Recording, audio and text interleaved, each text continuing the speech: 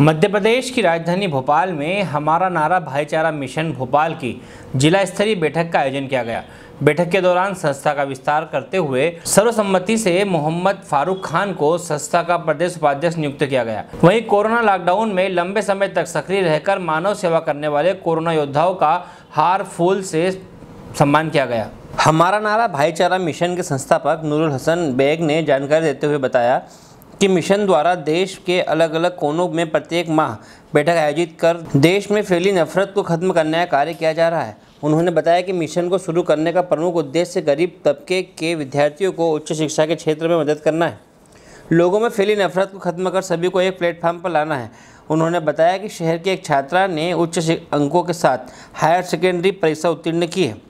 आगे वह छात्रा मेडिकल फ़ील्ड में अपना करियर बनाना चाहती है, मगर आर्थिक रूप से सक्षम नहीं होने के चलते अपने सपनों को पंख नहीं मिल पा रहे हैं। जब वह जानकारी मिशन को लगी तो उन्होंने आगे आकर उक्त छात्रा के सपनों को पंख देने का बीड़ा उठाया है। हमारा नारा भाईचारा मिशन छात्रा की पढ़ाई का पूरा खर्च उठाने को तैयार है। खुशी हुई है, मुझे बनाया गया है, और मेरा ये खुश नसीबी है कि मैं इन लोगों की सेवा करूँगा। बस इससे ज़्यादा नहीं बोलूँगा मेरे गले में तो। माशा हमारा नारा भाईचारा मिशन भोपाल जो काम कर रहा है वो अपने आप में अग्रणी है। हमारी जो हमारा नारा भाईचारा की बैठक है तेरह प्रांतों में चल रही है। पहले एतवार को हिंदुस्तान की राजधानी दिल्ली में।